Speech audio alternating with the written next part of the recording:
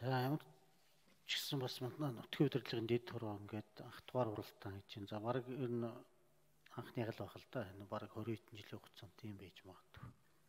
Би л нутгийн удирдлагын дэд хороо уралдаж байсан гэсэн сонсог юм байна. Тэгэхээр Баатар хоёрыг дараагийн эхэлж байгаа энэ төлөвлөгөө чиглэлээ гаргаа явж байгаа энэ юм бол зөв зөвтэй. Төлөвлөгөөний хувьд бол боломжийн байж байна. Тэгэхээр гол нь ер нь бол альва ямиг явахад нэг тийм түншлэлийн зарчим л байдаг.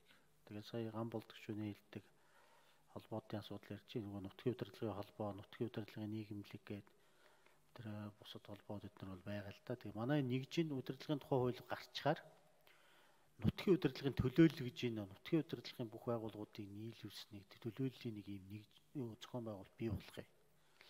Тэгээ тэр байгууллага бол нэлээд тийм шүүхэд одоо тэр нутгийн удирдлагын иргэд нутгийн удирдлагын одоо байгууллагуудын эрх ашигыг хамгаалах гэднэр гэдэг юм хийх юм. Тэрнтэй бас хамтрах баг. Тэгэхээр тэр бол бас нэг хууль ягаа батлагдаагүй байна. Одоогор 21 онд бол жоохон нутгийн удирдлагын орчин бол өөрчлөгдөнө. Ажил бол цаашаа явна. Бусад одоо хуулиуд гарна.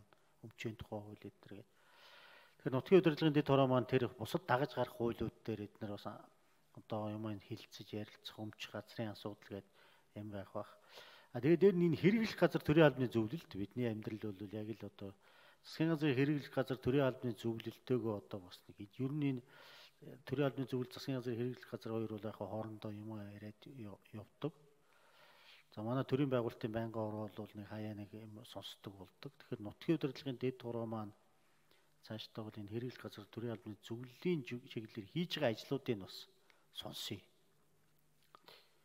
Тэгээд бас тэдний уялдаа холбоо юу болж байна мэдээллийг авдаг сонсдог. Энэ ажлыгаа бас одоо хийгээд ингээ явахд болох байхаа. Тэрнээс одоо дид тураа юм чинь бүх юм руу хутгалдаж орох юм бол байхгүй л гол түншлэгч зорилттой юм нь бол хэрэглэх газар төрийн албаны зөвлөл тэгээд тэр нутгийн удирдлагын одоо элдв холбоо иргэний нийгмийн байгууллага дээр нь тэр хууль гараад ирсний дараах тэр байгууллага болох байх. Энэ лүгээ ингээд ажиллагааг явуул болж байна гэж бодож. Тэгээд тэр ер нь нутгийн удирдлагын төлөвшлийг одоо 30 жилийн өгөөд их чухал тоо тавьсан ба шүү дээ. Шинэ тогтолцооны Энэ 30 жилийн юм маань ер нь дүгнэх барих нэг юм бол энэ нэгжийн үйл гарсны дараа бусад хуулиуд хийсний дараа манай энэ 2020-оос 24 оны парламентийн ер нь нэг том юм бол энэ нутгийн удирдлага дээр нэг том алхам хийсэн байх юм шаардлага бол тавигдсан ба шүү дээ. Зорилт нь ч тийм байна.